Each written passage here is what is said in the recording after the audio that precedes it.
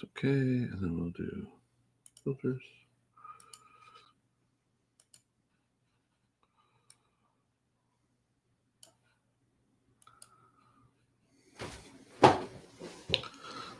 All right, that looks all right too. Single cam.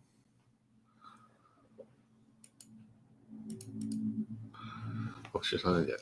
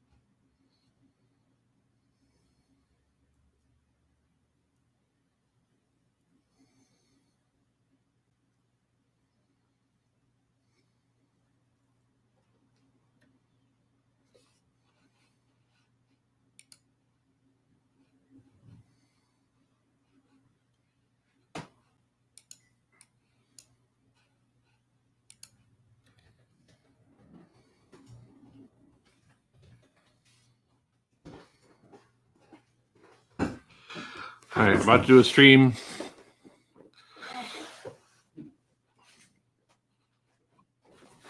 In fact, I gotta go pee before I start. I'm gonna start in a minute and a half.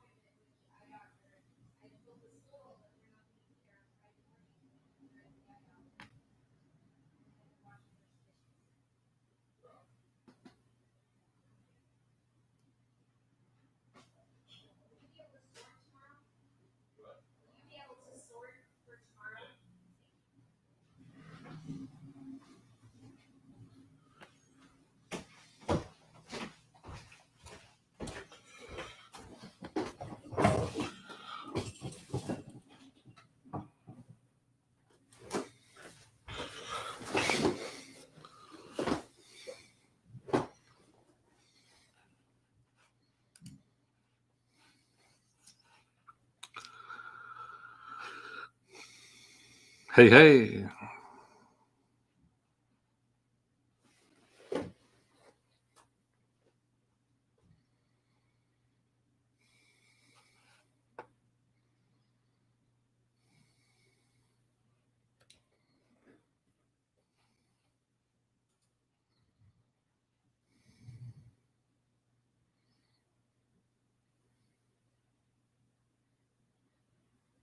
Oh, dang it.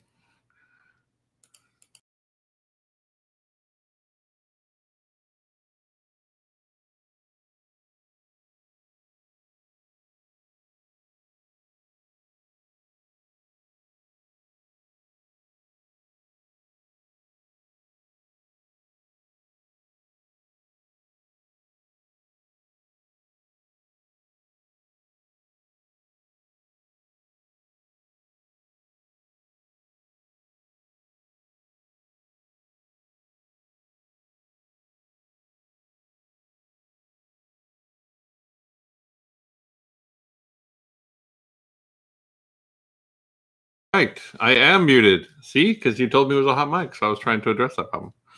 All right. Well, welcome to episode number seven of This Week in Cloud Native, where I'm going to explore some security stuff. And it looks like I'm getting lost in the fog a little bit, so it might be something I just have to tune real quick. Give me just one moment to get that sorted out. It's always something, you know.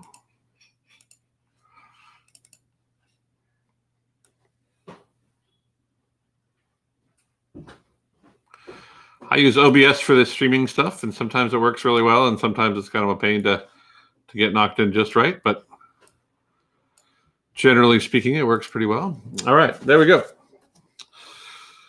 So this week I'm going to be digging into some security stuff. It should be a fun episode. I'll be digging into a few different pieces of it.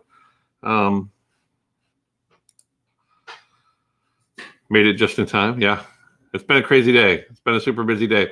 One of the reasons it's been a super busy day is because last week um, or, or this week is going to be the eBPF summit, and so that should be. Um, oh, I just realized. See, that's what I'm talking about. Boink. There we go. So um, this week is the EBPF, EBPF summit. So Wednesday and Thursday are going to be the EBPF summit. Let me go ahead and just share with you a little bit of information about that. So here is the wrong screen. So let's see if we can get figure that out. Just bear with me for just a moment while I figure this out. Uh, for some reason, my screen is showing the wrong screen. CD screen 01.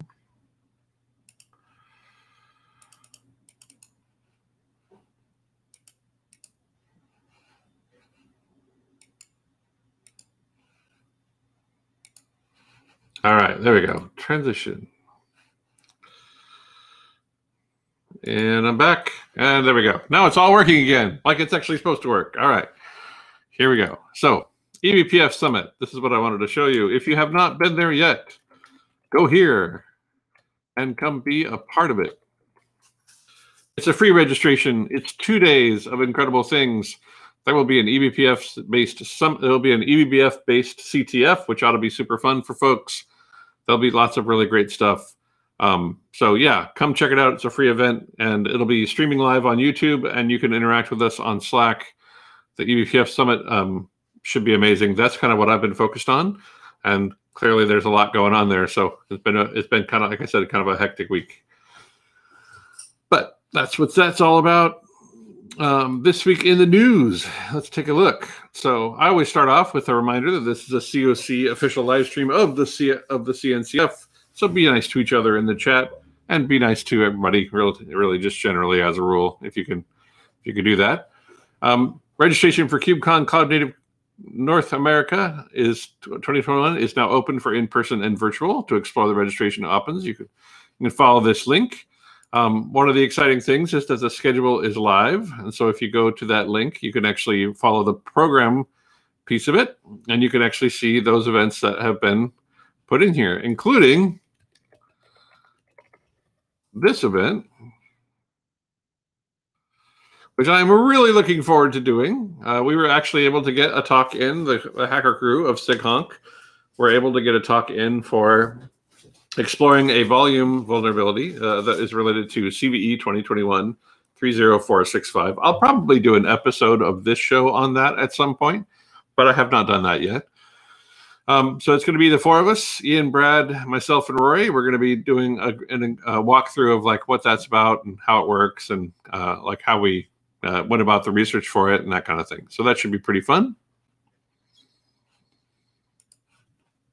But all the other schedule is up as well. So definitely, definitely go check that out. Uh, right. So, um, I think I've mentioned this before, but if I haven't, then if you want to catch up with episodes that have already happened, this is a great way to do that. If you go to that link, you'll be able to see the playlist for each channel or for each uh, thing that we've got managed here, including one that just was updated earlier today um, Search Magic by Siam. And we have Solid State. We have Kunal doing .ed.u. We have um, Maddie doing CNCF, CNCF Face Off. And then there are a number of other shows as well, all really great stuff. Cloud Native Latin X. Fields Tested sounded like it was a complete kick. And so if you haven't had a chance to check out Fields Tested, this most recent episode, probably the one to jump in on. Um, because it was a it was a Kaslin going through the um, securekubernetes.com uh, CTF challenge that um, Tab, Tabitha Sable and Brad, and a bunch of other amazing folks worked on at the at the most recent in-person KubeCon, which was San Diego. Gosh, forever ago. We got this week in cloud. We got um, that's that's the channel that you're watching now. So as soon as this episode is over, it'll be posted on that playlist. 100 days with a nice cloud native cast room, and all of these things are just up and, and ready for you. So if you miss an episode or if you aren't able to catch a thing that you wanted to see, you can always just go to YouTube and they're all archived there. There's new content every day, and there's always something kind of fun happening. So definitely check it out. A quick reminder again that in version 1.22, which is actually going to be the version of Kubernetes that we're going to be playing with live today, um, there have been API removals, which means that some things that worked before are not working anymore, right? So um, if you haven't already read this blog post, please go do it. It's a very important one. It describes just those things that will be removed from um, uh, from version 122. So, for example, I think you know likely the stuff that's really going to catch people out. I think we've already kind of been aware that Ingress has been um, updated for some time, so that shouldn't be messing people up too much. But I imagine this one might be a surprise. So, custom resource definition changing and having the old API from the beginning of time go away that might that might catch people out. Um, one of the big benefits is that in the 120 time frame, we also inserted a warning. So now, whenever you're registering a webhook or register or leveraging any of these APIs that are about to become removed, you should get a deprecation warning telling you, "Hey, that is deprecated." Now, I spent the last two episodes kind of covering API deprecation and removal. If you want to know more about that, definitely go check out those videos. But a reminder again, if you're playing with Kubernetes and you are unaware of that, you should become aware of that before you move to 1.22. And then back on the blog side of things, I just wanted to share with you a few other things. You can always just go to the blog by blog.k8s.io. Easy to remember, takes you there. There's been lots of really great posts just this month, and I wanted to kind of cover a few of them and mainly it's it's part of the release cadence of a of a of a release like this one that actually talk where there where you will see um, a number of blog posts kind of referring to different features or or capabilities that are changing, right? And so the 122 release came out, and you can definitely check this one out. There's lots of really big changes in 122, which I think are going to be really great. And we're going to look at a couple of them that I'm particularly interested in. Um, we have server side apply moves to GA, CSI Windows support, which means the, um, the custom storage interface, so being able to actually create new, oh, cool, Deep's in there, to be able to create new volumes and things as a plugin or an, will be in GA in 122. And then we have new in version 122, the alpha support for using swap memory. I know Elana has done a ton of work on this, trying to get this in.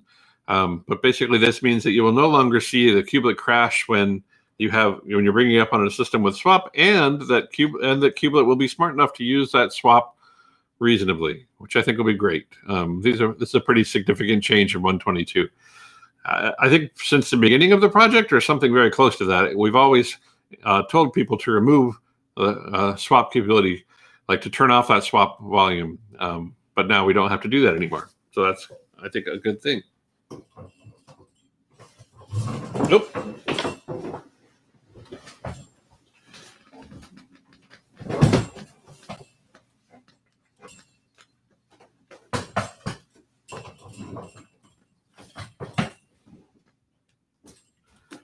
Well, that was fun. Live. All right, here we go. So that is changing. We also have the Kubernetes Memory Manager moving to beta talks about the way that memory is managed in the subcomponent. I'm actually curious about this one a little bit, and then we'll dig into the kind of the fun work. So, some Kubernetes workload run on on, on nodes with non-uniform memory access. Now, if you're not aware of what NUMA is, this is a pretty fascinating thing. The idea, they probably get into it. Do they?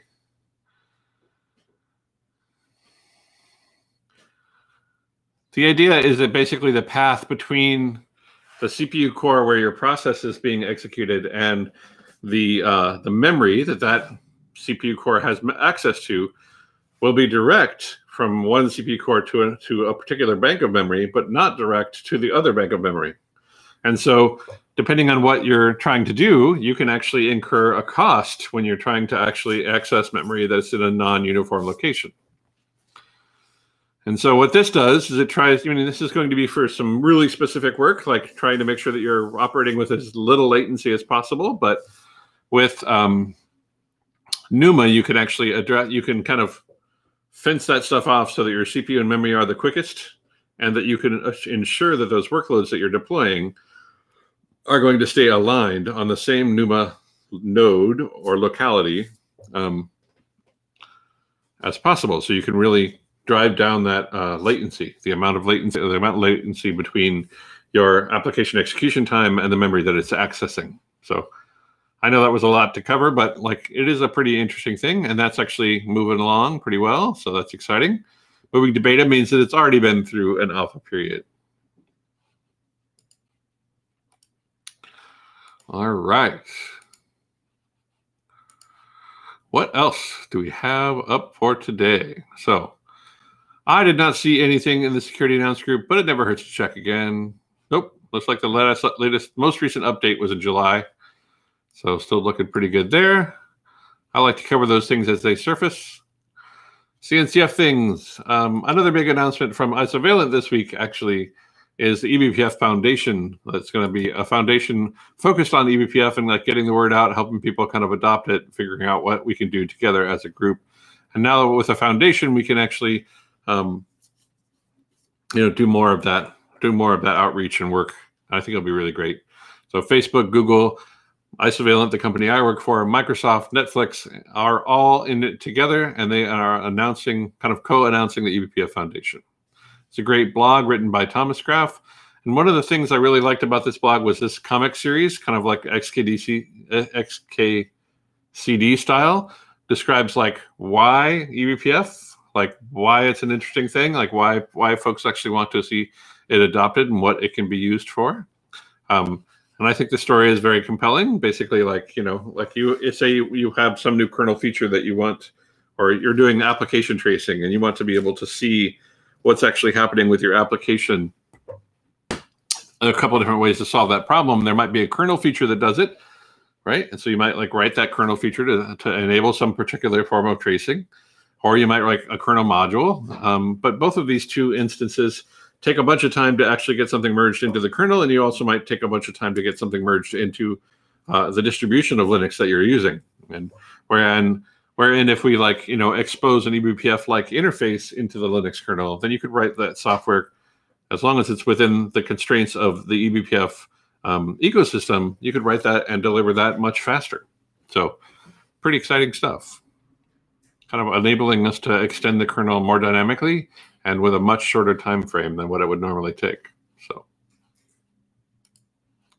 I just realized that you may not have been able to see anything I was just presenting. Yeah, but I'm back now. So here's the eBPF Summit page. Having a rough, rough start today. All right, so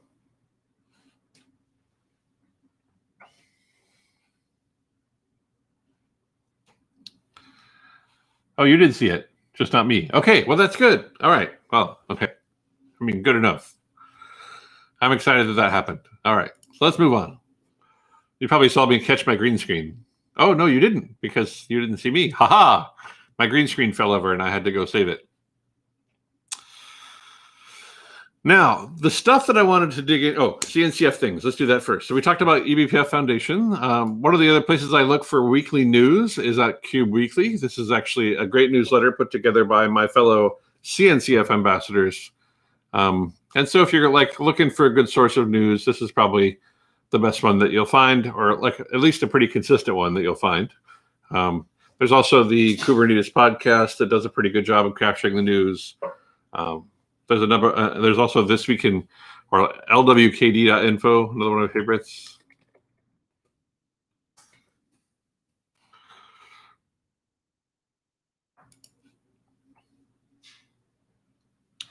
So LWKD is focused more kind of like on the developer side of things. So like what commits are interesting.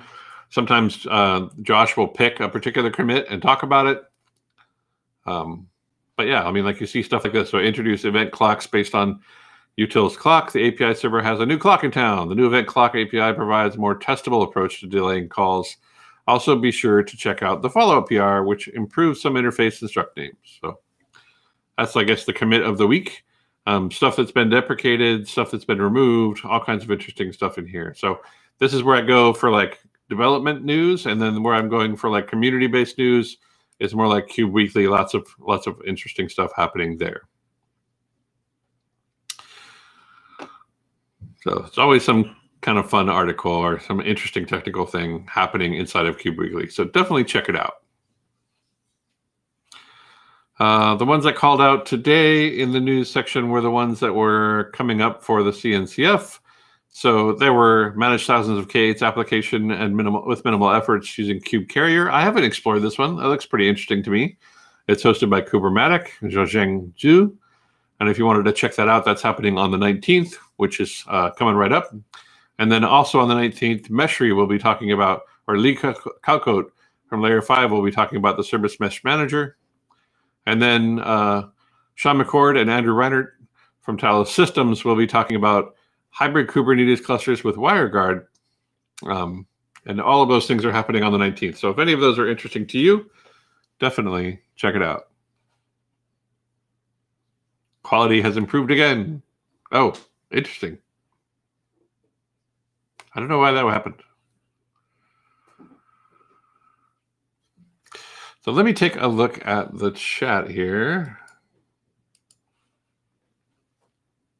Yeah, we missed the real action. It's true. Oh, it looks okay to me.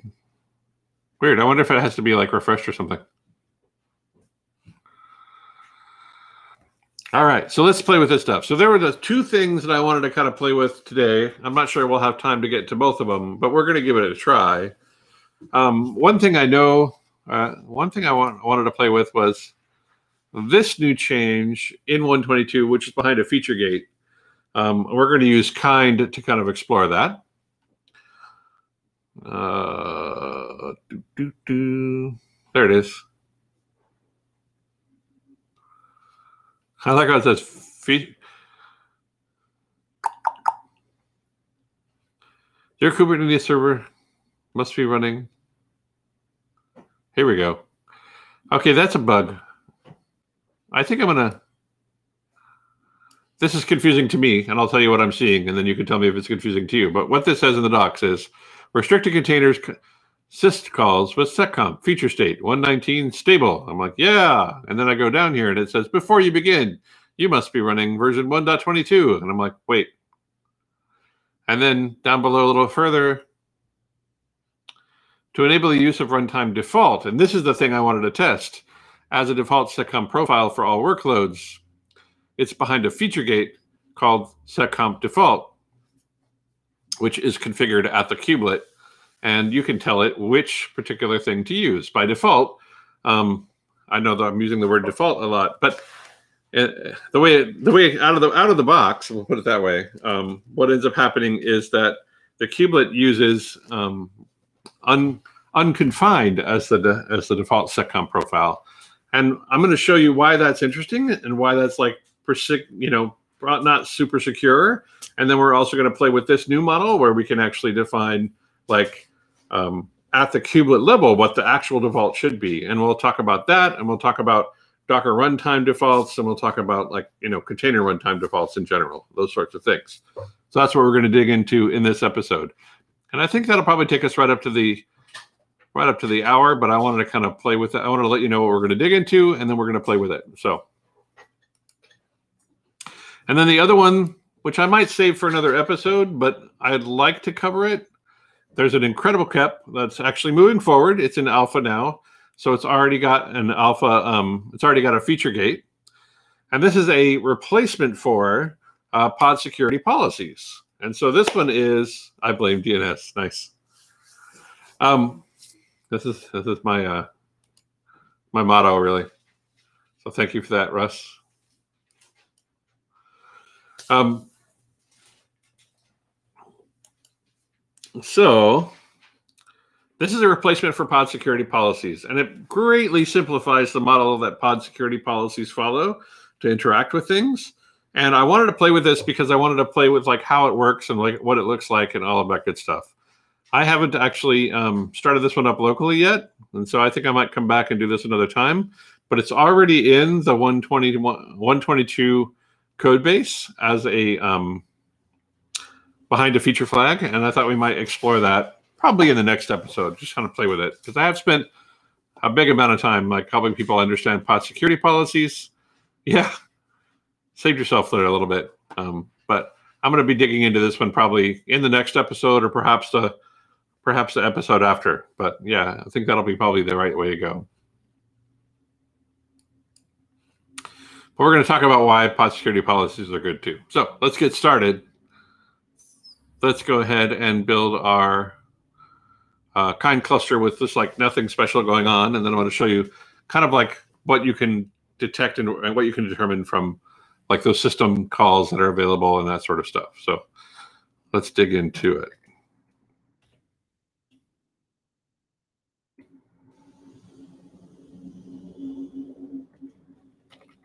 All right.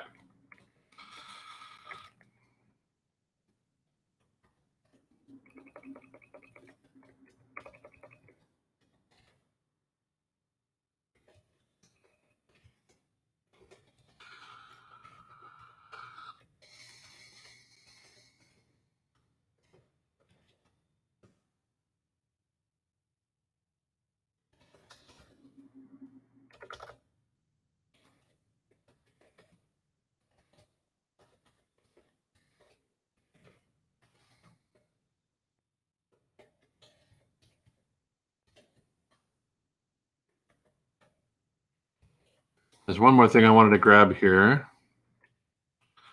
We'll do it in a minute. So kind, create cluster, config. Change that definition just a little bit.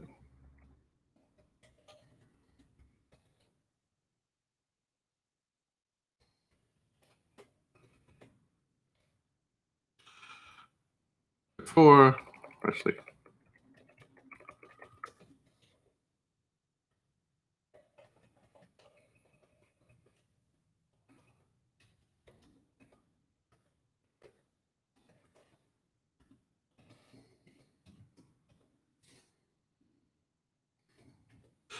Next, I'm going to go to the kind project, which is kind.sigs.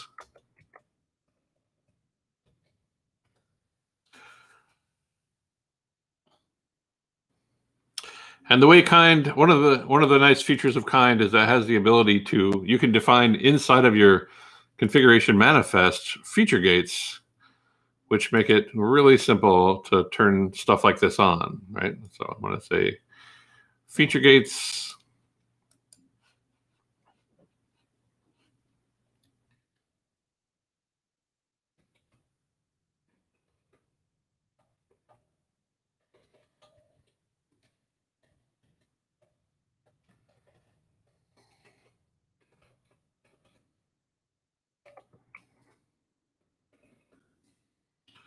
And then back over here again to this guy. And this guy says the feature gate is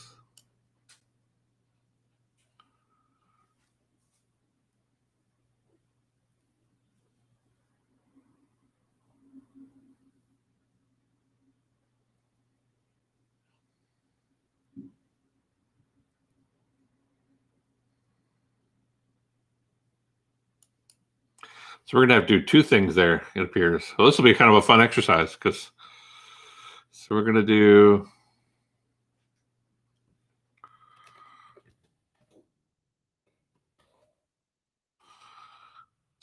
default. Oh, interesting. Okay. Well, we may only have to do the one. Well, let's see. So the way I'm reading this is it's saying that uh, it's a it's a um, feature flag that you determine you can set the feature flag seccomp default, and this enables the use of runtime default as the default seccomp profile for all workloads. And the seccomp profile specified in the security context of a pod or a container. Now, if we go back into the docs on the other side of things a little bit here. The runtime default is going to be whatever the default seccomp profile built into your runtime is. So Containerd has a runtime default. Uh, Docker has a runtime default. Um, both of these runtime defaults actually limit the system calls that a given process that has been containerized can run. That's so weird. I don't know why it's blurry at all. I mean, what's weird is also like in the in the read in the read back to me, I'm not seeing the blurriness. I only see y'all telling me it's blurry. Weird. Okay, anyway. So I do like high def duff. I get the highest def duff. I'm kidding. yeah, I mean, like I'm I'm streaming at the full at the full uh, full resolution, 1080p, 30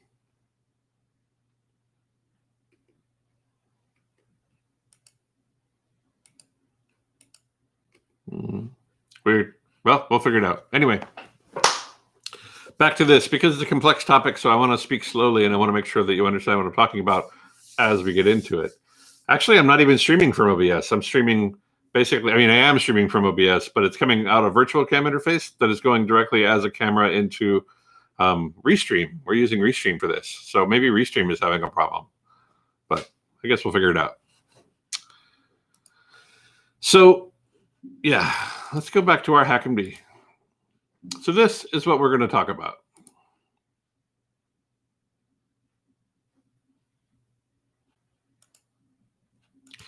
I am going to, you know, for some now, I'm going to go ahead and delete this one for now.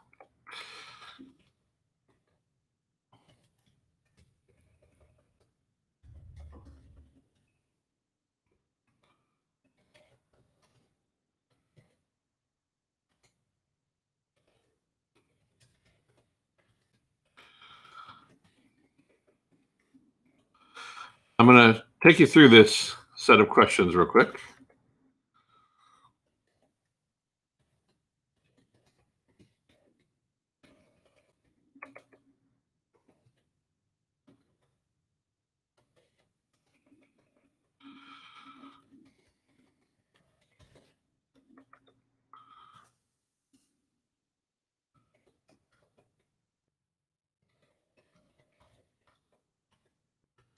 So these are the this this this is basically what we're going to dig into here first, and then we're going to play with the new feature gate that sets runtime default.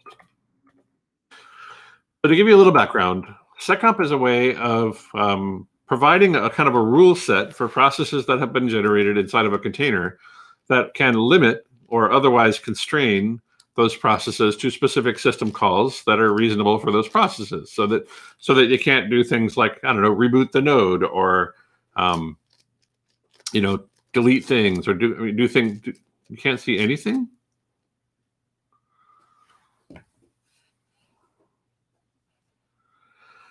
I'm thinking this is a twitch thing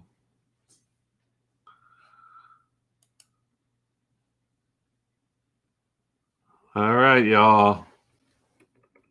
Okay. Very weird. I'm thinking maybe there's like a Twitch thing or something. All right. So yeah, so let's get into it. Let's keep moving here. So I'm going to show you a little bit about seccomp and what seccomp's about, and then we're going to play with this stuff. So first, let's just go ahead and run like using Docker. You can do you can do this on your own system as well.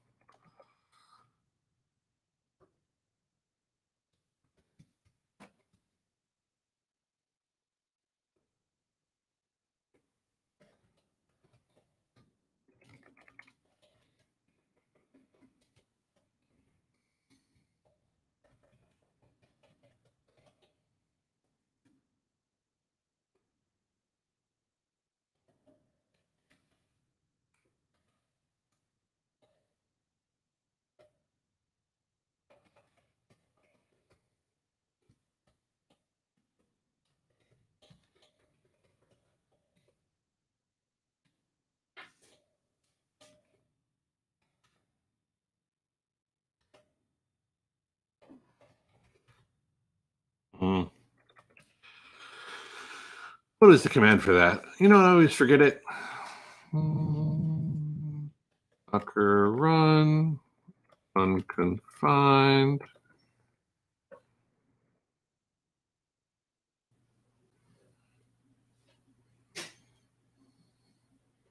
This page, by the way, is amazing. So if you're ever if you want to learn more about seccomp, this is a great way to do it. Um, reading the Docker docs for seccomp are are amazing. So there is an option where you can tell it security ops seccomp equals unconfined.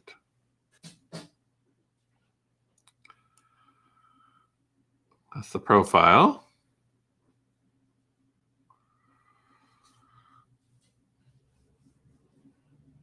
There we go. That's what I'm looking for. So let's grab that over here. And we'll go over here. We'll do docker run. Actually, just paste it in.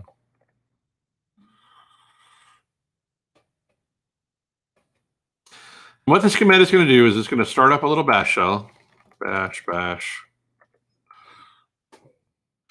And inside of that bash shell, we can look at the capabilities that we have running as root inside of this container. And then we're, going to run the same command without the security ops flags and see what the runtime default uh, um, capabilities are. And then we can kind of compare the two of them, right? So if I do apk at libcap, I do capsh print. I'm going to go ahead and capture this. And we'll head back over here to our HackMD.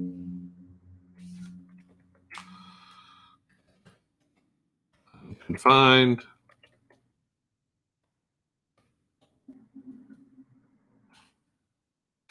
Now, remember, you can actually go to this HackMD yourself directly and help me edit it, put notes in, that kind of stuff. That is available to you um, right here at the bottom where it says hackmd.io slash at TWICN.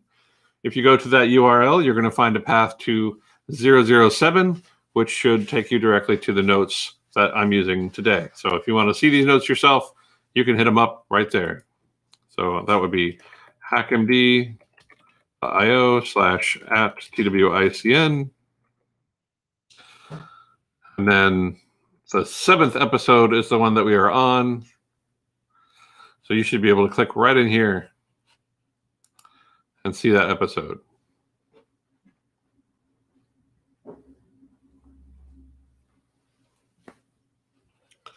All right. Yeah, I'm not sure what the problem is, and I'm not sure how to address it because it seems like things are okay on my side. Oh, it says network connection 810.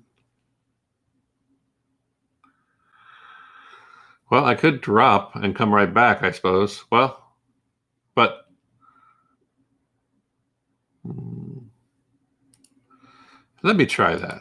Let me try just doing, let me just try doing this first.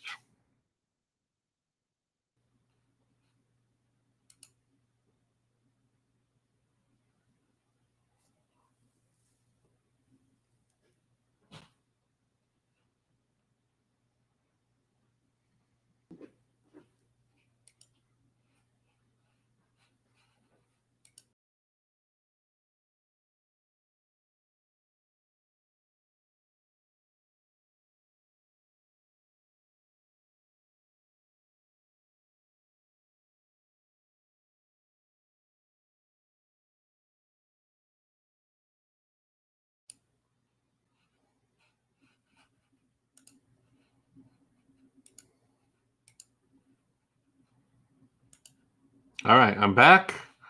And according to the connection, it says that it's high quality now. So hopefully we will no longer see any of this blurriness. I'm hoping that takes care of it.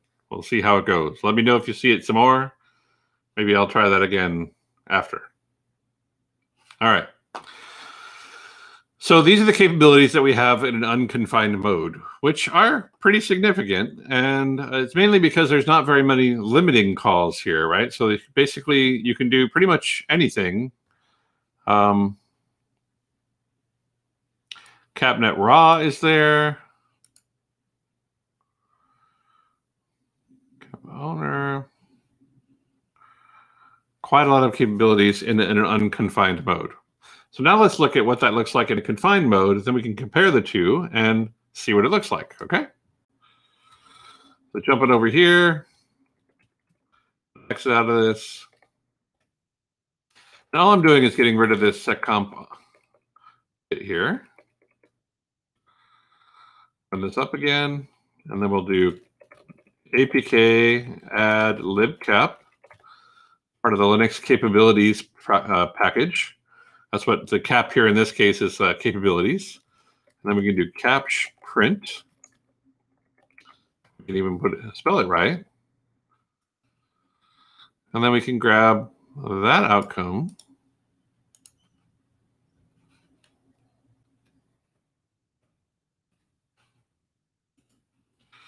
And we'll drop that over here on the HackMD.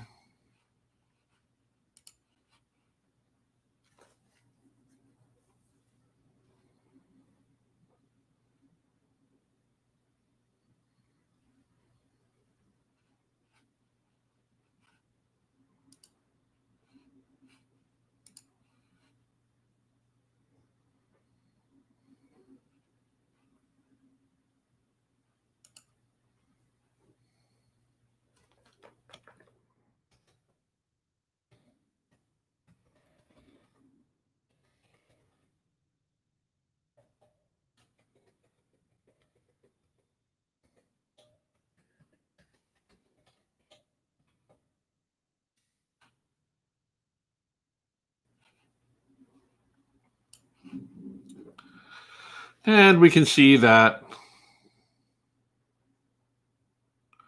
our bounding set. Oh, interesting.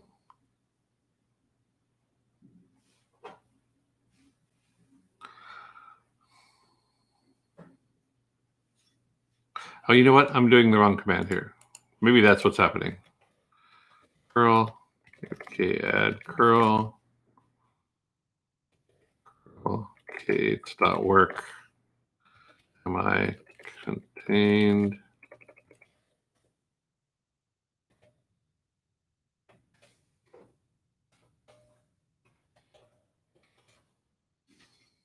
Those are the capabilities that have been granted me, but what I am not seeing in that outcome or in that output is what capabilities are being filtered from me. And the neat thing is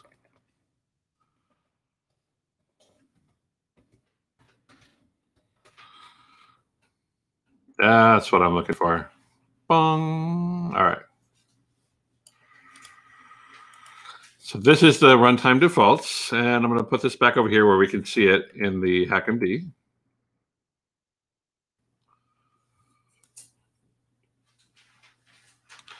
What I wasn't doing is negative testing, right? And that's basically the problem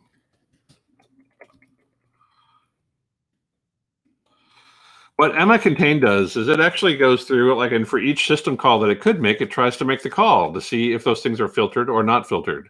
And in a filtering state, which is what we see here for container runtime in Docker, there are 60 block system calls, right?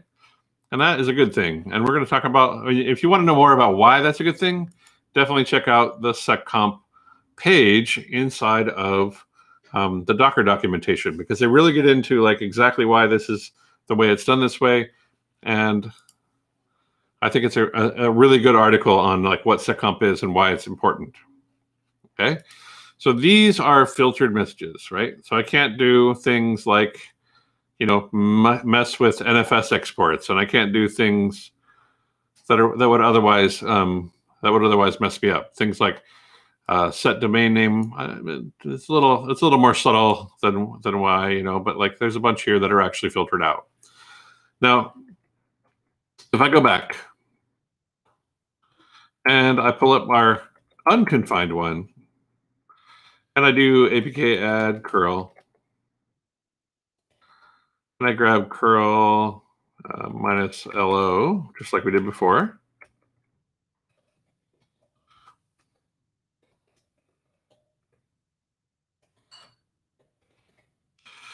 kh.work/slash am I contained? Kh.work is my domain for this stuff. And then I can do change mode plus X.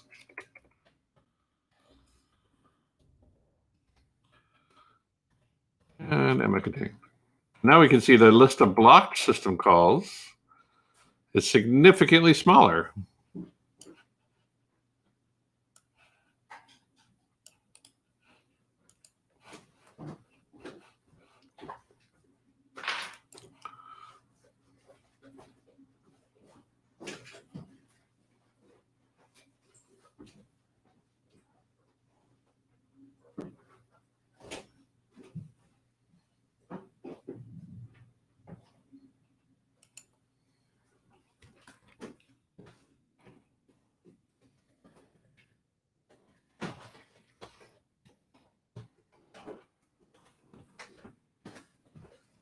There we go. So in this case, in this state, we can see seccomp has been disabled, but there are still some system calls that are blocked. Swap on, swap off are blocked. Reboot, set host name. Some things have been blocked, but not nearly as much as what's been blocked here in the lower end. And what these are, these are basically uh, system calls that have been picked that are likely to uh, affect the overall performance of the system rather than um, and be outside of what a normal process might do, right? And so in this baseline um, seccomp profiling, like you likely you've probably never even noticed that it was there because this set of system calls that has been limited here um, really are just there to um, keep you within the bounds of a regular process, right? It's trying to be as restrictive as it can without being so restrictive that you ever notice that seccomp is actually in place. And at the same time, like get rid of stuff like you know giving you the ability to insert new modules or to, to remove modules or uh, you know things like this that you probably shouldn't necessarily be able to do as just a running application inside of a container on a Kubernetes node. They want to limit that stuff, and that's why there are 60 block, blocked system calls here when you're when you're using the Docker defaults. And there's only 20 block system calls if you have disabled seccomp. I have never noticed. See, isn't that weird? Wow, it is weird. It is blurry again. Oh, well, I've tried. What is this? Net error cert common NAME invalid, name invalid. Are you throwing TLS errors at me, Dan? Dave?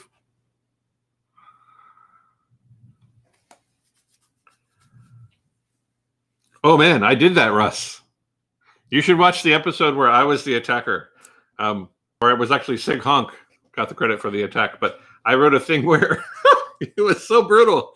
I like I did a bunch of the work on the on, on the on the environment, and what I had done was I had written it so that when the SSH'd in, he would actually like drop into a scenario where he was in a container that was in a read-only file system and he had to realize that SSH was listening on two different ports and SSH over to the other port so that he could escape that.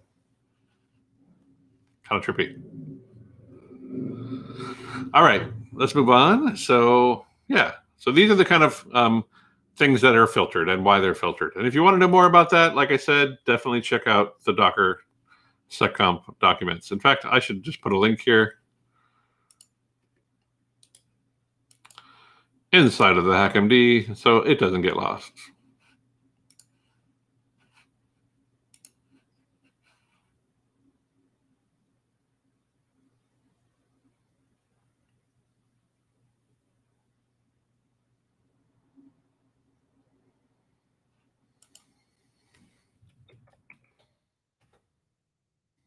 All right.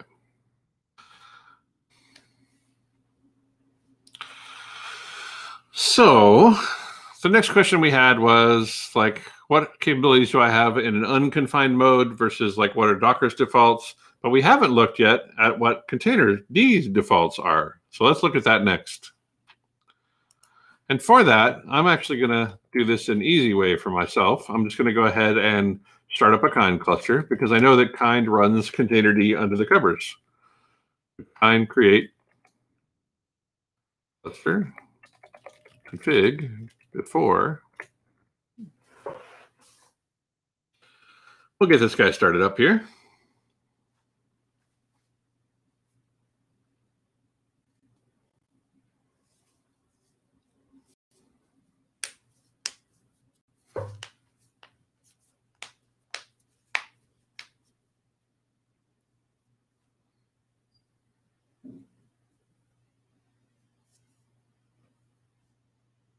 Yeah, kind is pretty awesome. I agree completely. Yeah, plus 1,000.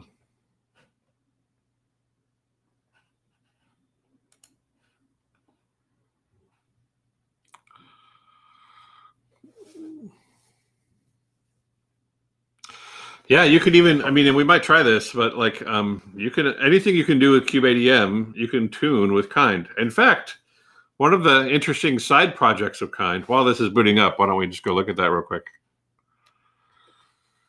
So, um, one of the interesting side projects of Kind is that you can do a thing where it's called Kinder.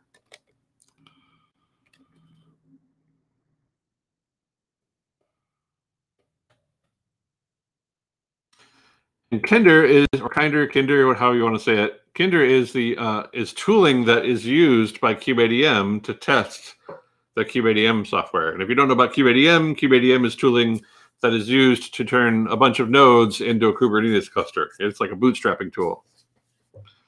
You know what's funny is I always think of Kinder as like this particular elf-like creature in old D and D books. Like that was my exposure with with with Kinder. It was like an elf-like creature.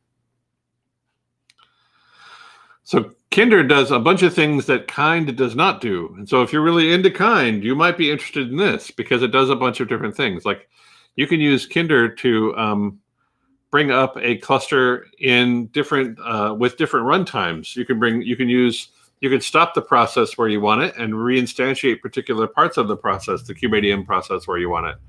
And so there's a ton of stuff that Kinder does that are kind of out of the scope of the usual kind project, but it is pretty amazing. Way less painful since 110. Yes, for sure. Also, it's still kind of like the premise behind things like Cluster API. So KubeADM is, is, you know, continuing to move forward. So if you're interested, Russ, if, if you're interested in um, Kind, definitely check out Kinder. And it's under the Kubernetes uh, I guess it's actually in the main repo, surprisingly enough. Q, uh, main repo kubeadm project underneath tree master kinder. And it's pretty neat. Might be kind of a fun episode to do on that, actually. So, probably booted up by now. Yeah, there we go.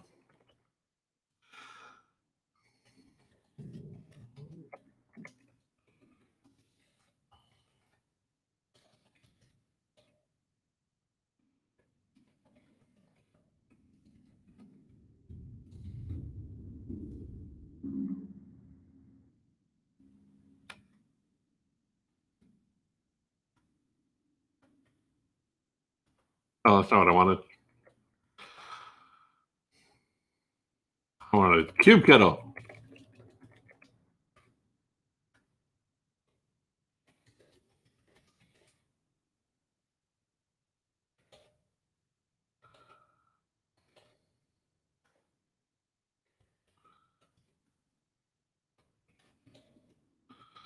Is this me?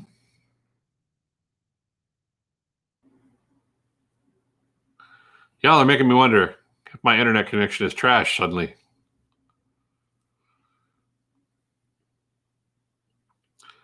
Downloads at 400 meg, uploads at 300 meg. So it's probably not me because I should definitely be able be able to eke out a broadcast stream for that. Like my goodness. Is there something consuming my CPU.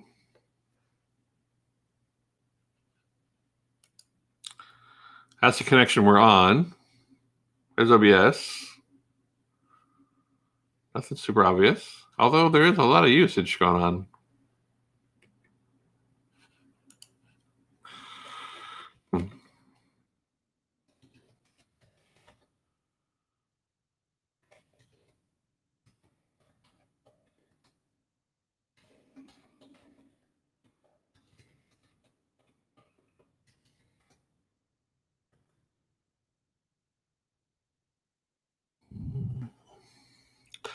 So this should start up the same bash image that we saw before from Docker.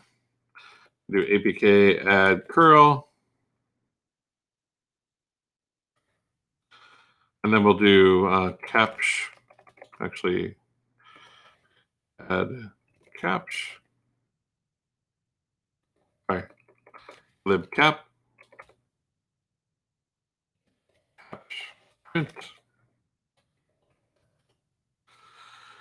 And here we have our bounding set, which looks very, very similar in my mind to the unconfined set that we saw before. Let's go ahead and grab those and we'll put them over here.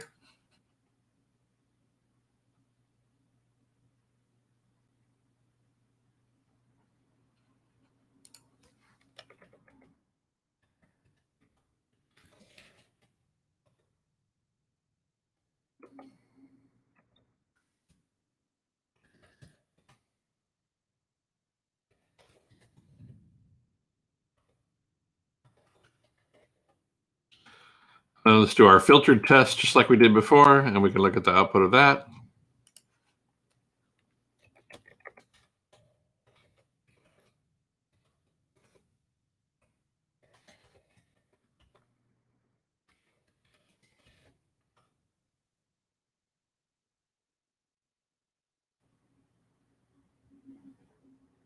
You freeze for a few seconds before it drops in quality. So something may maybe something is dropping quality automatically if frames I dropped for a bit. If that's the case, boy, that's irritating. That might be that might be the case. Because if I'm not moving, then it's like, yeah, that's all that's all I'm gonna send.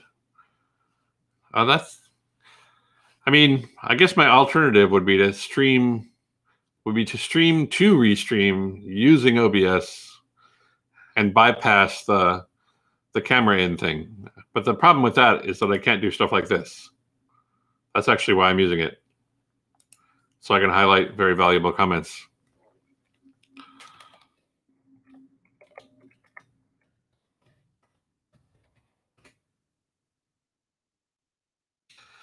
So we can see that the defaults, I can see two things from this output. We can see that the defaults that we're in um, are not limiting much at all. It's the same like 20 system calls that are limited. And I didn't have to tell it to go to uncon- to go to an unconfined mode. By default, it's already in an unconfined mode. So inside of Kubernetes, if you don't use something like sec- security context to specify a seccomp uh, profile, then you don't get one. It's unconfined. No, no, don't do it, Dave. It is valuable.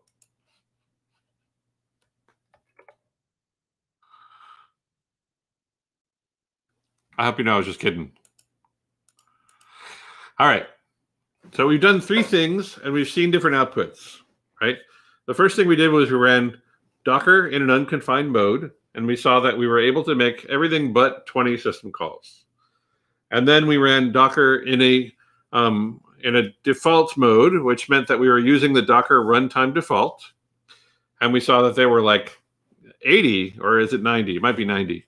Boop, boop, boop. Let's take a look.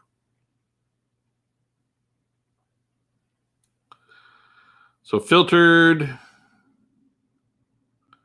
That's the un, that's the unlimited one. 60, sorry. There were 60 uh, system calls that Docker limits by default um, that are there that we can see the output of.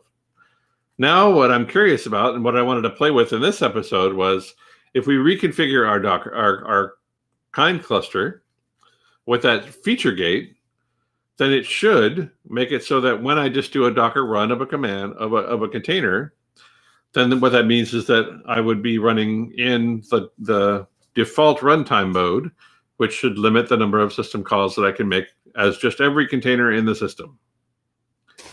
Should we take a look at that? I think that'll be the interesting part.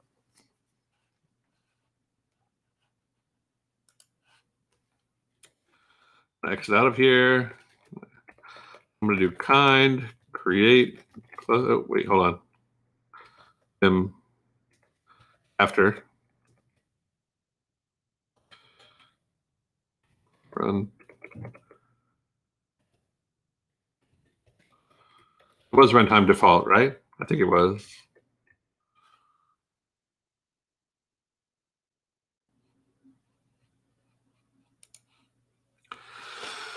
Nope. It is a seccomp default. Is an optional kub- kubelet feature gate, as well as corresponding seccomp default command line flag. Oh, both have to be enabled to use the feature. Ah. Well, we'll see. We'll see how it goes.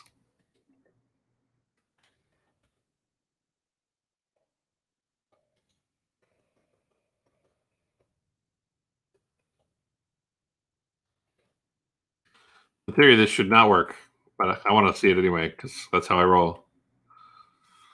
Uh, kind create cluster config equals after name equals after. Because I already have a kind cluster brought up with before, then I can't. I don't want to create. I don't want to mess with it, so I'm creating a new one with a new name called after, and we should be able to see that. I was going to ask how k8s tells the runtime to allow that, but how? But they both have to be active. Yeah, that seems weird to me. I thought that, like, effectively as a feature gate, then it should be kind of configuring that stuff. But right, like science, it is science. While that's coming up, I am going to look up two things. this will be a fun one. So, according to this,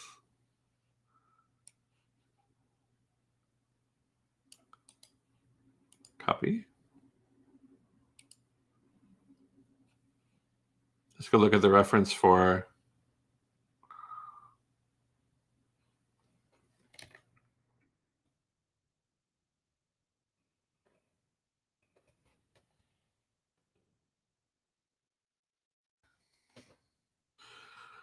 You would think that, okay, maybe I would think that the seccomp profile, I would, I w- I wouldn't have to up, apply this on every on everything, but it looks like I do. So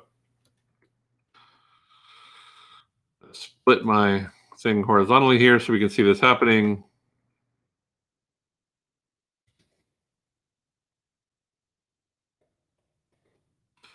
We're going to make a patch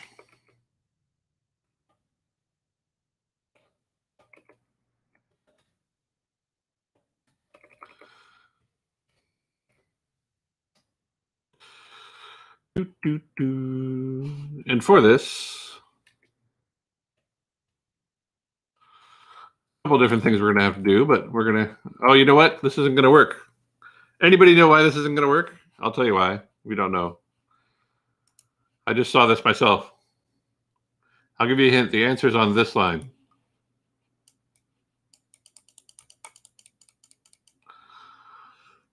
Anybody? Anyone? This is a feature flag in version 1.22. Haha. Yeah, exactly. You got it.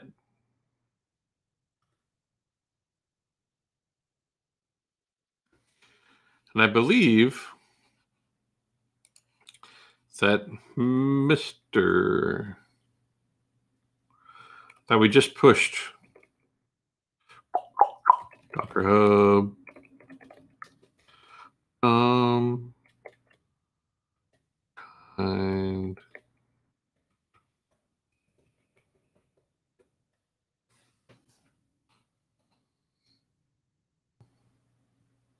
I think we just pushed a new image, which was the oh kindest. Mm, there we go. Node. I think we just pushed a new image that was 122 when it got released. One way to go see that is to look at the tags on the kindest node project in Docker Hub. 122.0. Pushed by Mr. Ben Elder himself. Copy.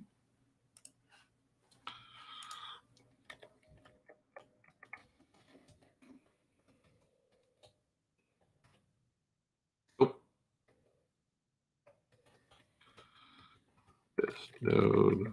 There we go. Mm-hmm.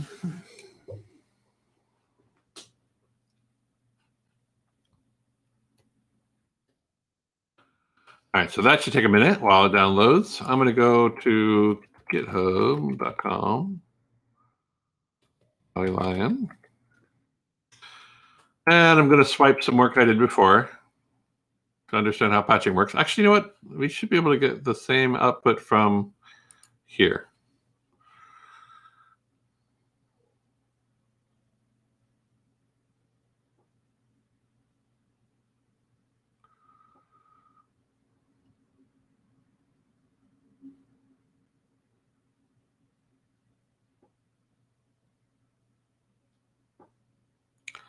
Extra mounts, extra port mappings.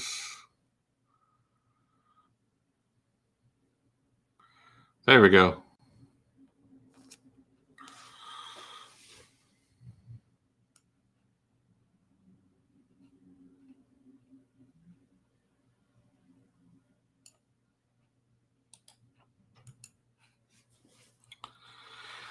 So this guy is part of the init configuration. And then we also have, so we have a init configuration, cluster configuration, kubeproxy configuration, and kubelet configuration.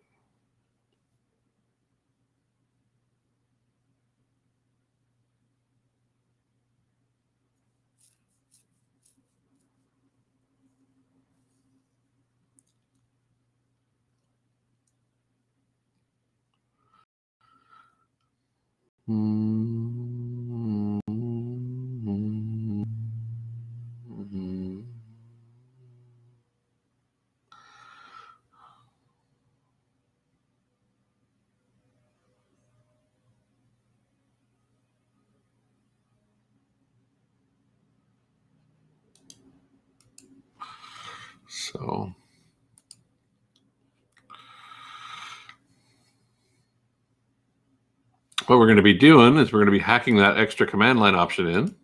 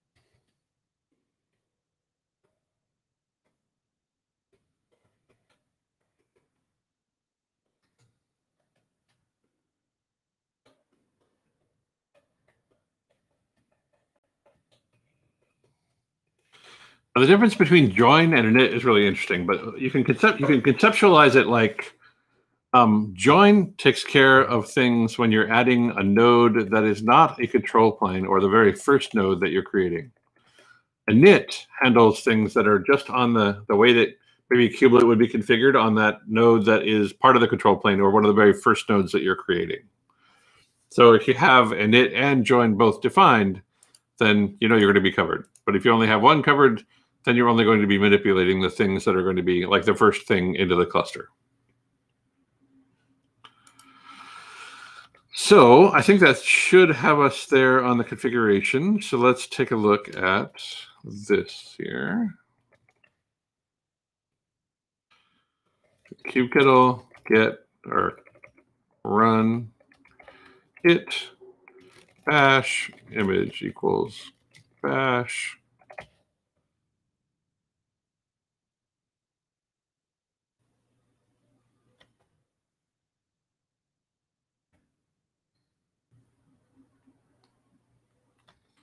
Same bash program we had before. Add curl. Curl minus lo.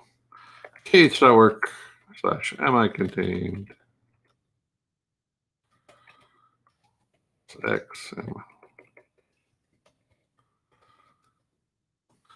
And we see no difference. Still 20 syscalls. So, and sys, seccomp is still disabled. So it's definitely not, it's definitely working as advertised. You must at least have both created. So I'm going to go ahead and delete kind delete cluster. Name after. I'm going to write this. And then we're going to do kind create cluster after v1220. And let's see if we get it.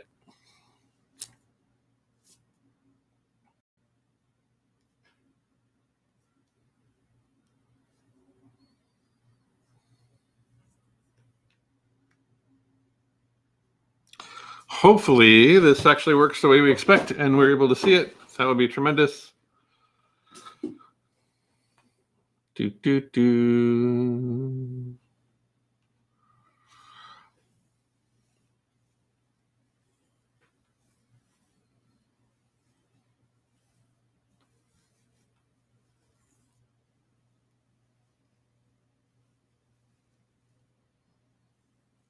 Let's take a look.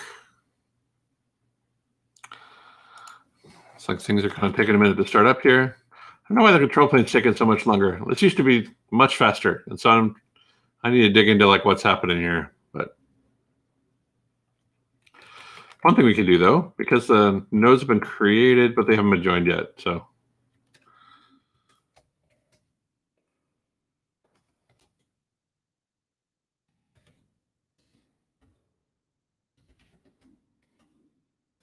Ooh, interesting.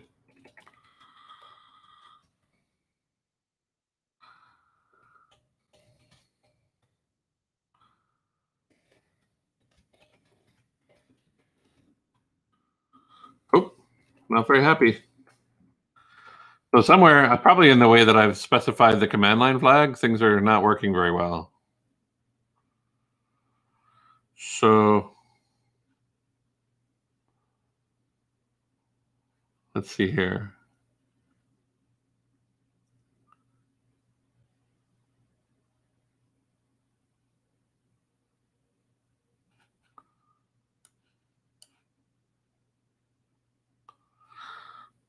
Mm-hmm.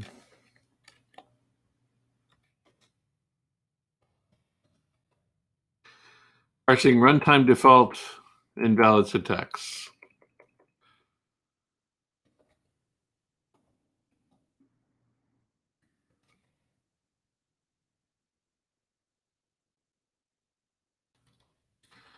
Here's what I'm going to do. I'm going to do kubelet help.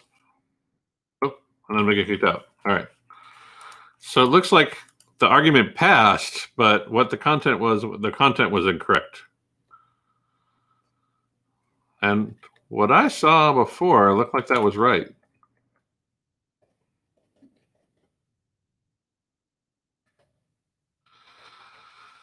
So what if I get rid of this? Oh, you leave it empty.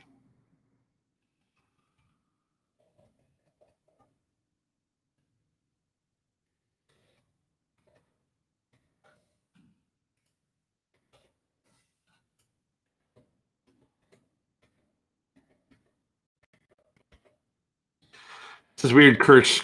You know, it's kind of a blessing and a curse, right? The blessing is, hey, if you mess up the configuration, you can go look at the configuration and see why it's messed up. The curse is, if you mess it up, then you have to go look at the configuration and see why you messed it up. It's kind of a pain.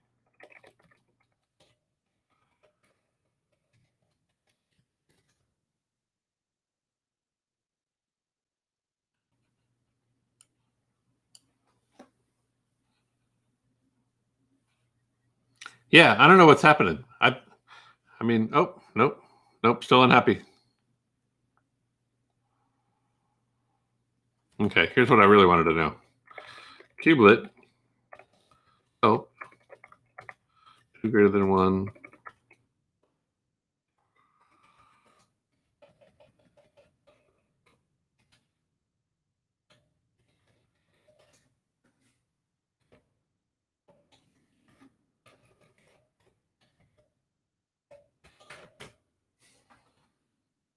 Seccomp default. Enable the use of runtime default as a seccomp. Yeah. Feature gate must be enabled to allow this flag, which is disabled by per default. And the seccomp profile root string, which is fine.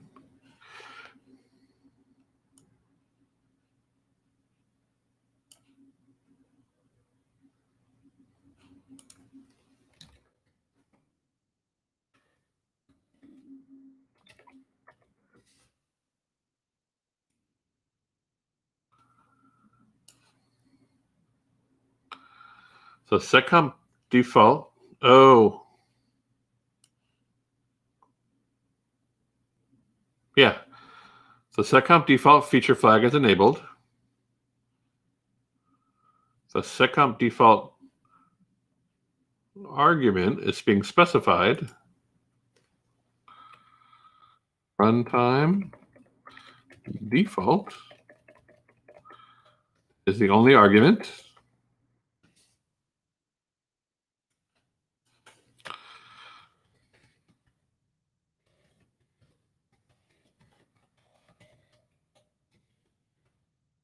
I wonder if we're running into a bug.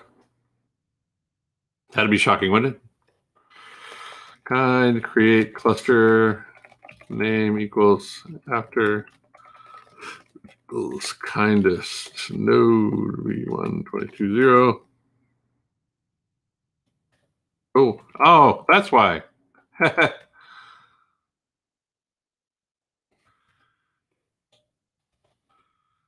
config equals after.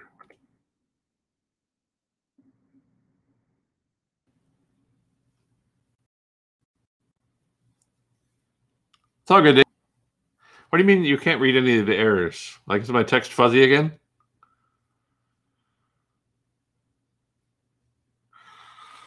Or is it just that it's going by so fast?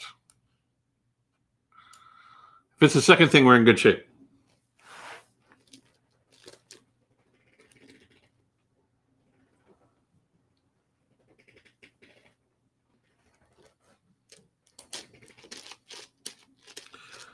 While we're waiting for this to boot up, I think I can actually see that this is my case real quick. I just want to prove it.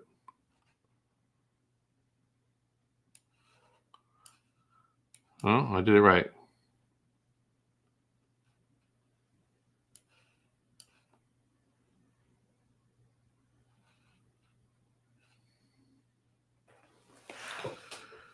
Arg. I'm gonna have to figure this out for next time. I don't know why I don't know why this is happening. But I know it's not my connection.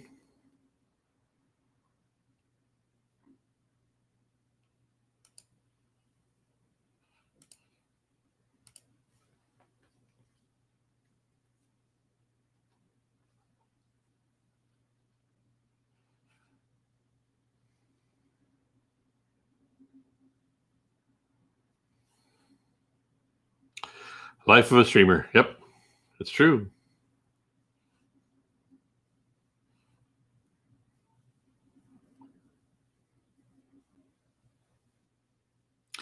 That's a good question, actually. I don't know the answer to that one. If so, I could always just redo this episode if it's all messed up. It should be all right.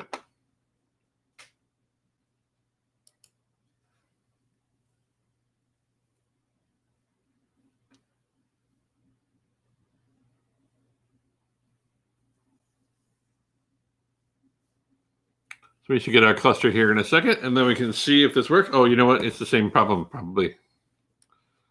I think we are kind of running into the same problem.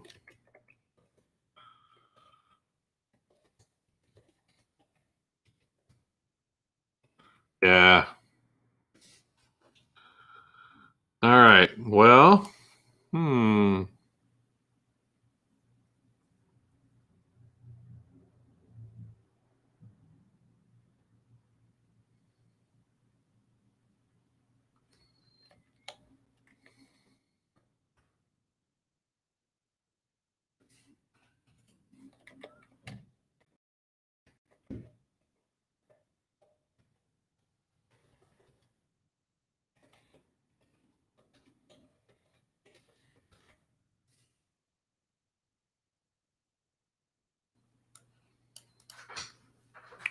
I think we're going to go a little off the reservation here and see if we can figure this out manually. So I'm going to go ahead and break bring up. I'm in the middle of a stream, just so you know. And I'm going to do which, actually, I'm going to do pgrep kubelet minus a.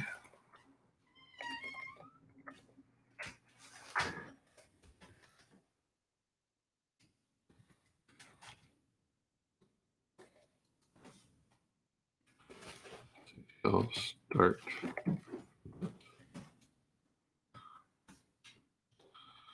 I've got all minus FLU kubelet.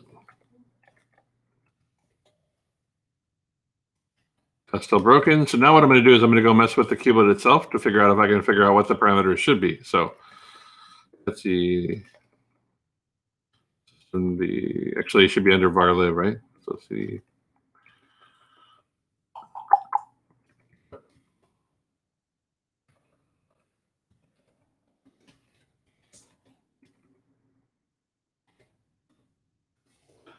So there's the param, param. Wait, what is that? Oh, okay, just extra args. So I'm going to go ahead and edit that. Let's see if we can get that working. varlib, kubelet, kubeadm, flags environment. Update.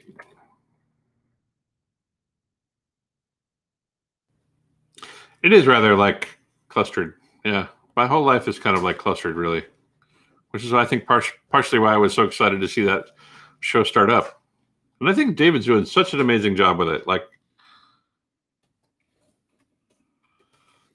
um,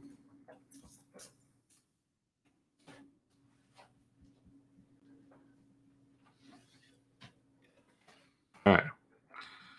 Now we have the tools.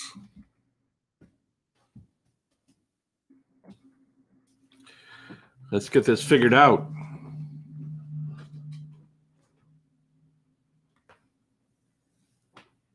Really? 10. Uh, 43. Um,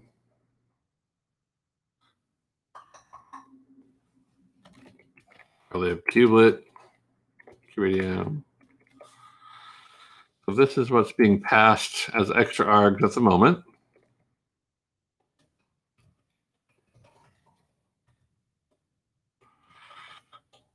So what if I wrap this in some quotes?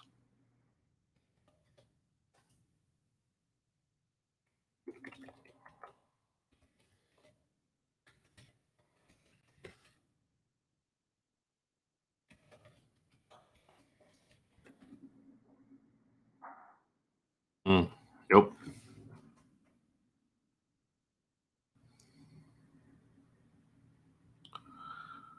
Same error. It's basically telling me that the argument that I've passed is not is a the text isn't being parsed. What if I get rid of it?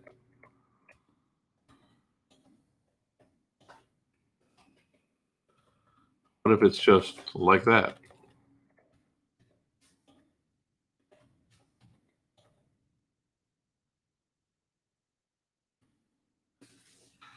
I just saw an interesting output.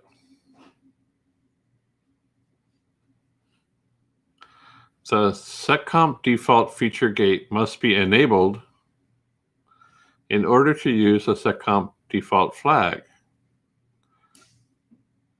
Maybe, ah, maybe our whole problem the whole time has been the feature gate's not working.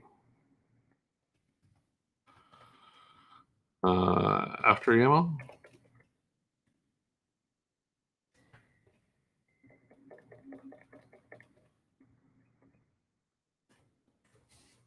That looks right to me.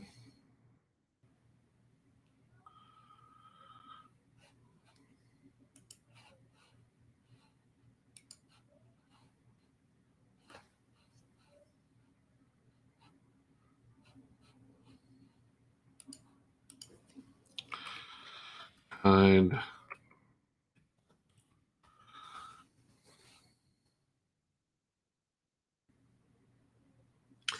So there's two ways we can enable this feature gate. So there's a feature gate enablement that goes this way, right, into the configuration piece of it. And then we could also just patch the kubelet with that particular feature gate. Oh, this is a cluster wide thing, which I would have thought would have actually worked out.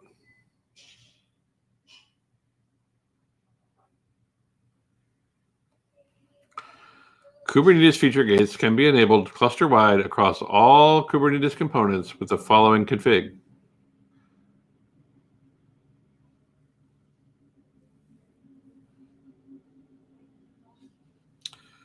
Maybe I need to go back and look at the instructions a little bit more.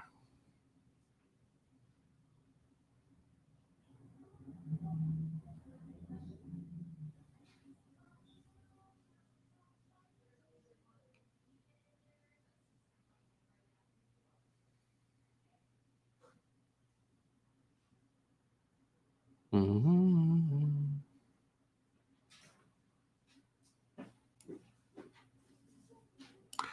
No quotes in their example, but that's how they're turning it on. So that really should work.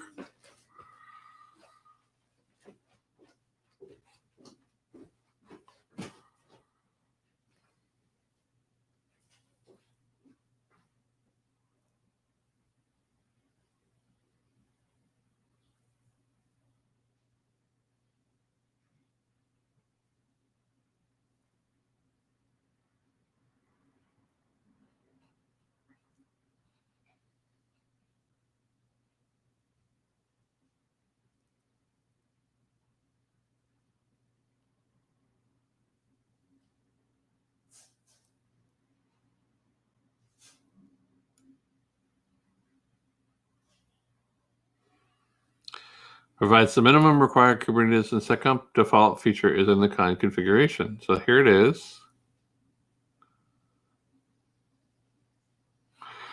All right.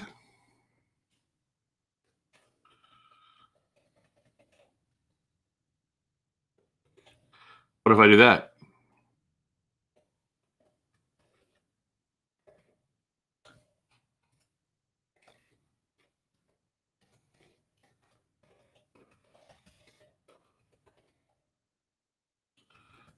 After. Right, yeah, I got that.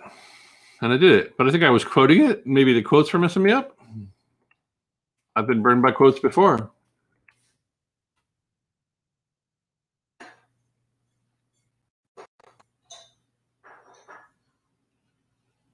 Oh, good question. That's a very good question. It'd be kind of wild. Knowing how kind works, that would kind of blow my mind, Dave. But you know, I'm ready for that.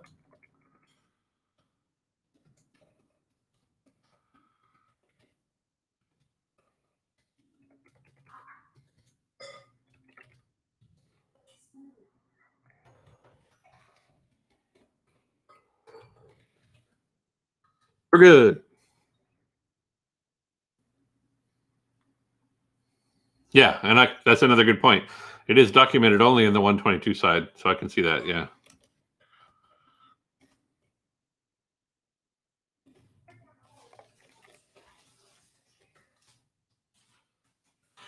What it's complaining about is that it says that the feature gate's not enabled. So I think what I'm going to do, I think we're having a bug where the feature gate's not getting populated down. var lib kubelet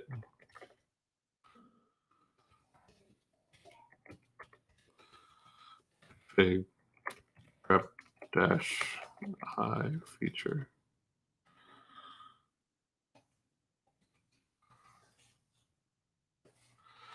No, that's not it.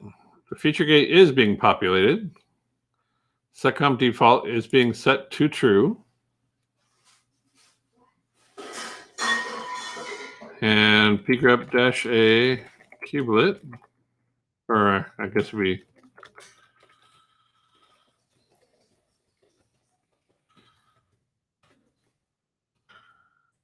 seccomp default is set to runtime default just like it says in the docs. But it's not doing the thing.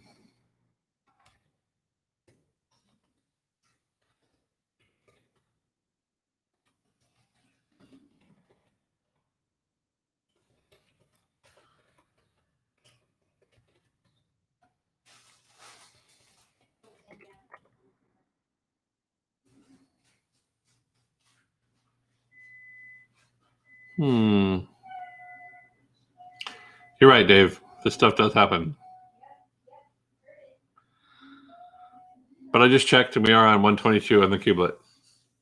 Also, we were reading the docs, and the docs would only be embedded in a kubelet that was running that had that feature gate enabled. And so what I mean is I was reading the output of help.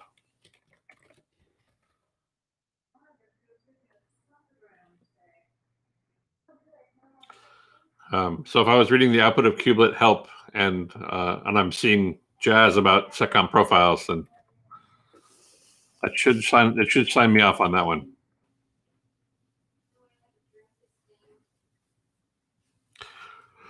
Russ, I can see that the feature gate is enabled in the kubelet configuration, and I can see that I'm passing in the argument. Um, right? Yeah. That'd be wild. Two.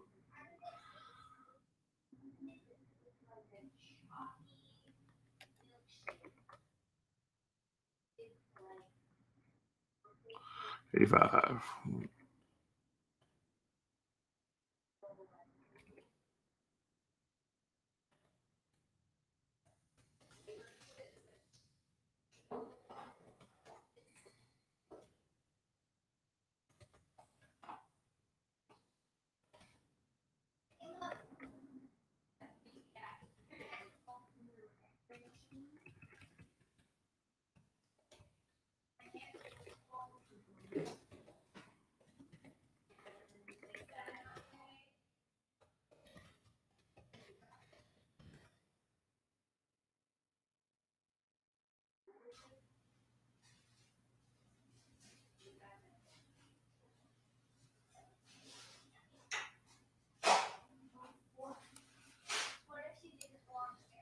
The seccomp default feature gate must be enabled in order to use the seccomp default flag, but it is.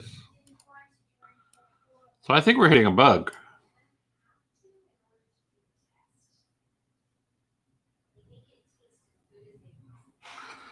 It's either a bug or there's a typo somewhere super not obvious.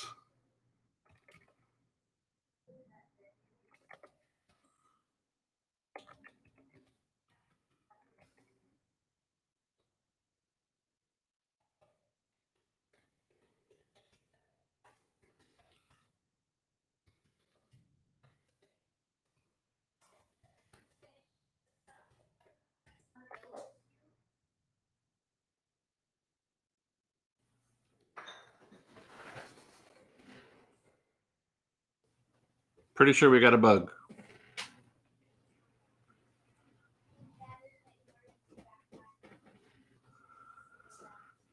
Because for all the world,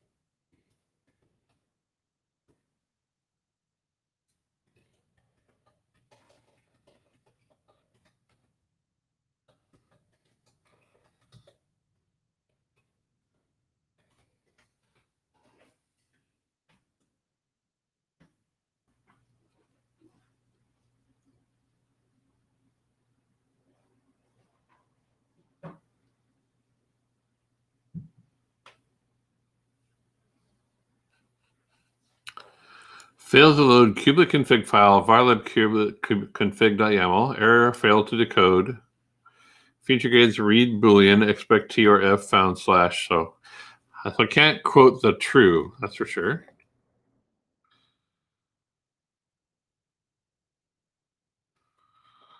So I was able to make a change in the config file that changed the feature gates that were enabled, and that shows me that that is set correctly. It works. It works out pretty well. So this is seccomp default true, and that seems to be applying. And then when I go back to the kubelet m's,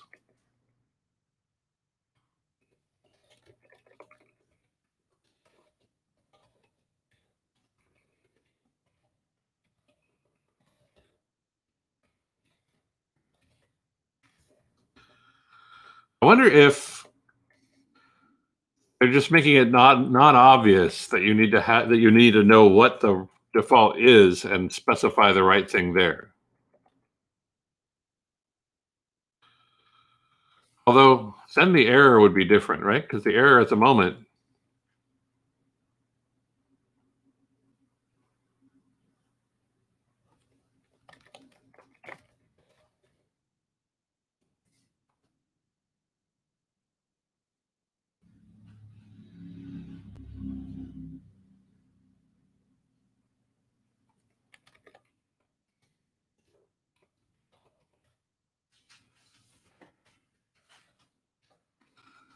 Unknown flag. Is that my bad? Oh, that is my bad.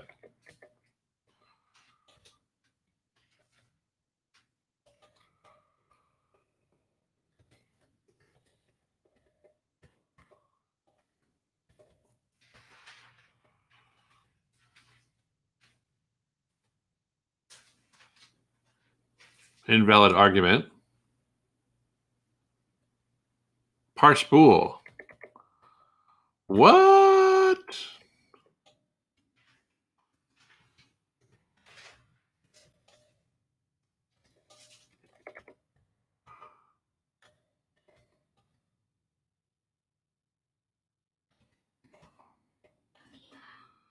What if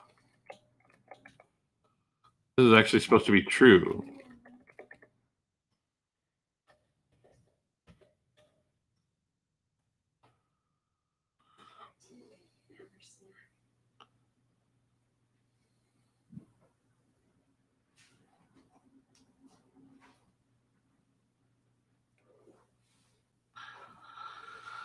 Failed to validate kubelet flags. The seccomp feature gate must be enabled. So however they're doing the validation of the seccomp feature gate appears to be incorrect. Because this looks correct.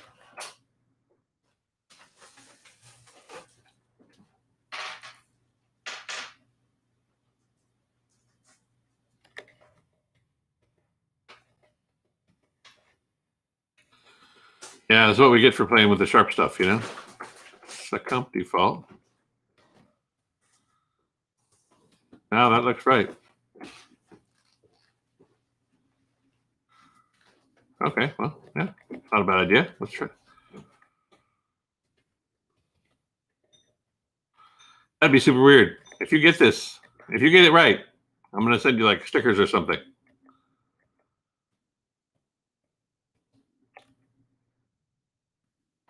Nope.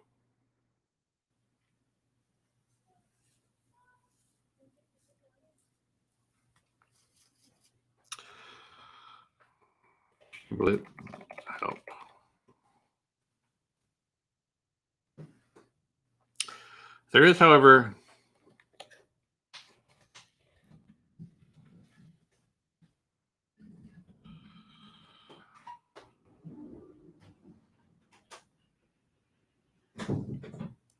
this option. Which means I think, you know, they're not taking into account the dynamic um,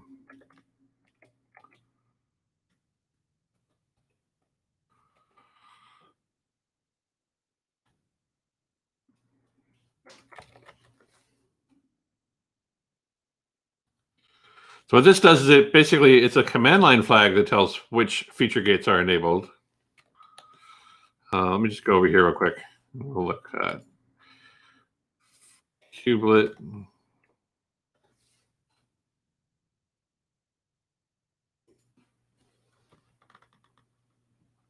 Control F feature gates.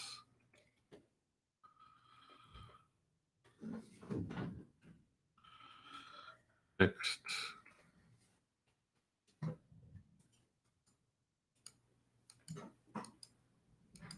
I think that's what's happening. Dash dash feature, which I think you pointed out earlier, or one of you two did.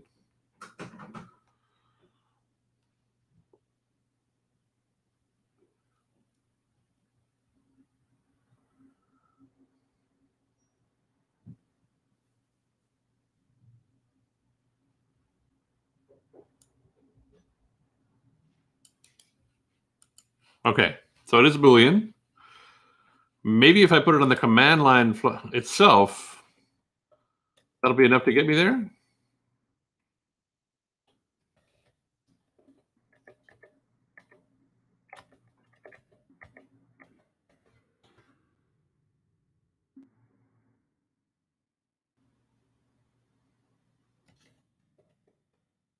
Wow, now it's trying to actually load the uh,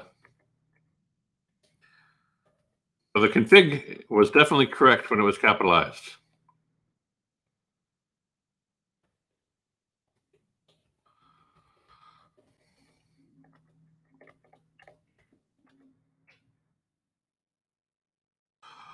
Oh, wait, did it really work? Yes! Okay. Here's what we're going to do. We now have a way forward. Delete cluster name equals after.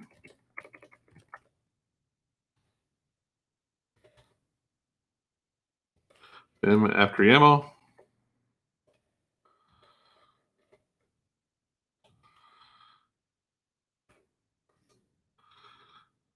Feature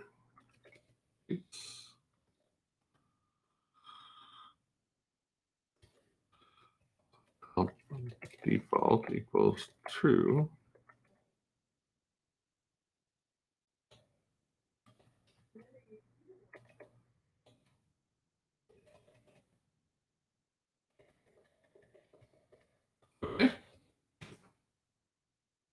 Kind, create cluster.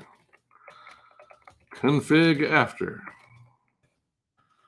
Name after. Image kindest node v120.22. Drum roll, please. I'm invested now. I like that.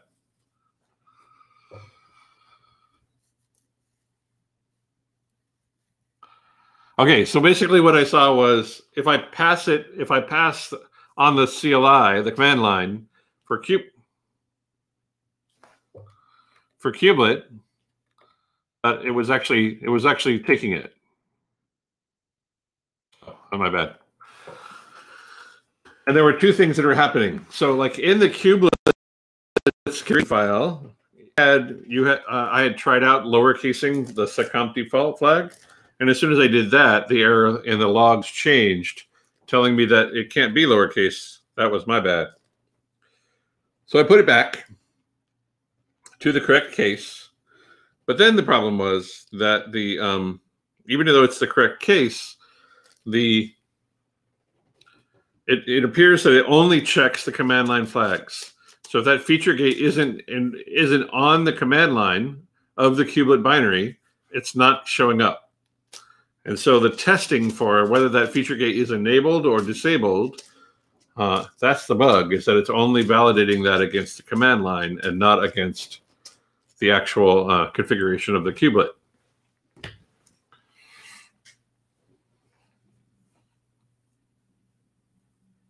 Wow, we're already an hour and some change in. I'm almost done though. I just wanted to see this work and then I wanted to show it and then we're going to close it out. So we're almost there. Thank you for hanging out. It was fun to kind of deep dive into kubeadm and troubleshoot and all that stuff. These alpha features, you know, super sharp edged.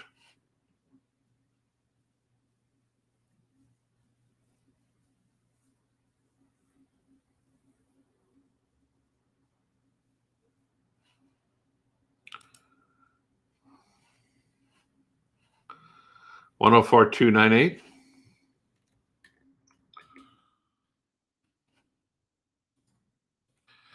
Two.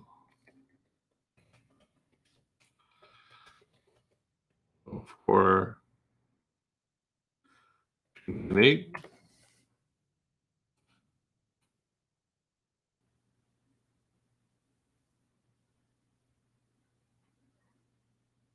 Correct, Russ. That was the problem. Kubelet fails to start if dynamic kubelet config feature gate is enabled. No, this is not the same thing. Since 122, enabling the feature gate on kubelet causes the kubelet to fail to start. Nope. In my case, that was working okay. Also, I wasn't trying to do dynamic kubelet config. The problem was more that um, I needed to get it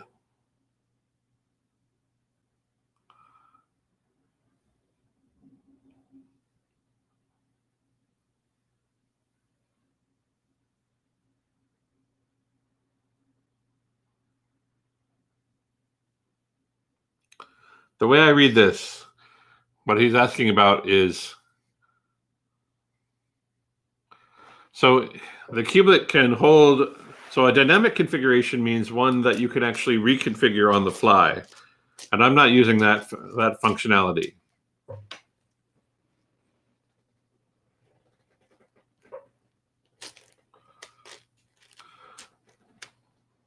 Oh, interesting. Okay, maybe you're right. That is related.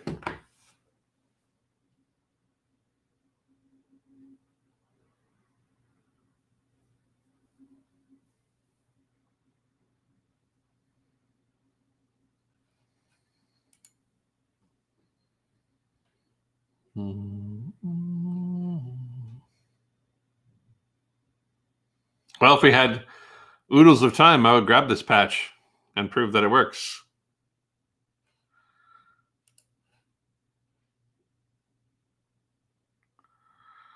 Oh, uh, but it still doesn't. So we're still seeing the same fault. Dang it! This is the this is my last shot at it too.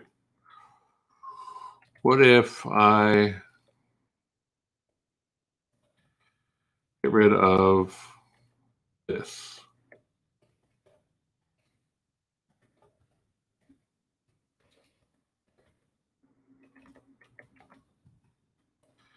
Oh, you know what? That's why because this is supposed to be true.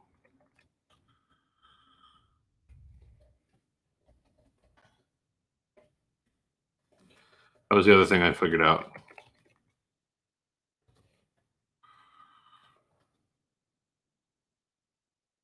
Do, do, do. Okay. So then Come on.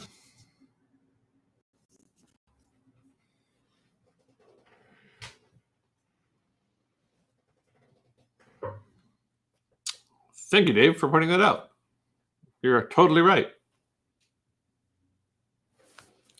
I might try building that later and seeing building with that patch later and seeing if it actually solves this problem for me. But I think that was the problem that I think you've highlighted the actual issue.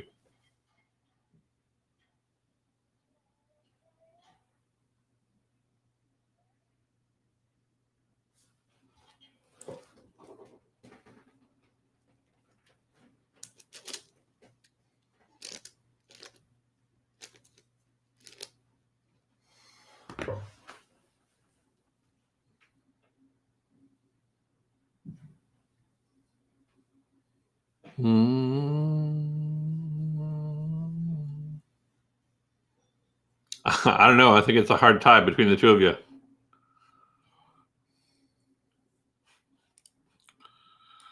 Probably still got a problem though. Control plane's still not coming up.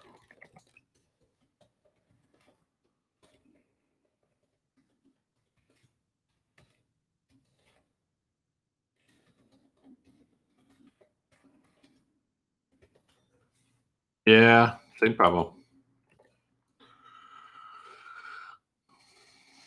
You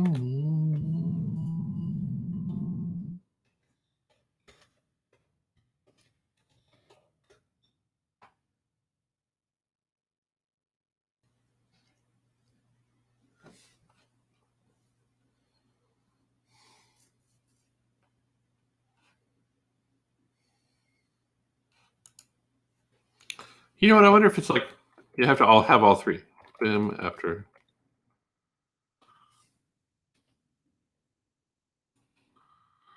That would not be surprising to me.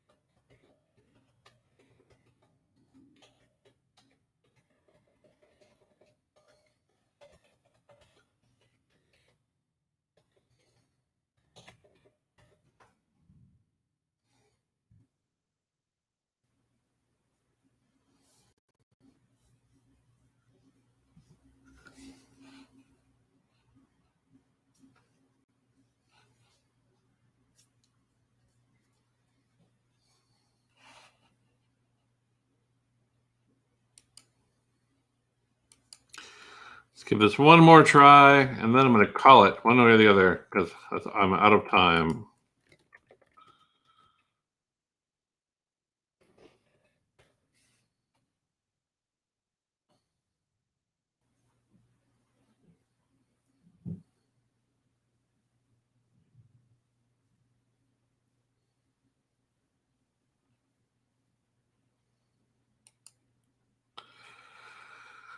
And it's bedtime for you.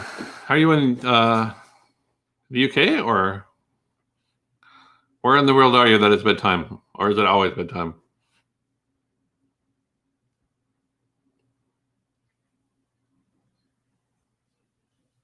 Berlin, Germany. Nice. Oh, yeah.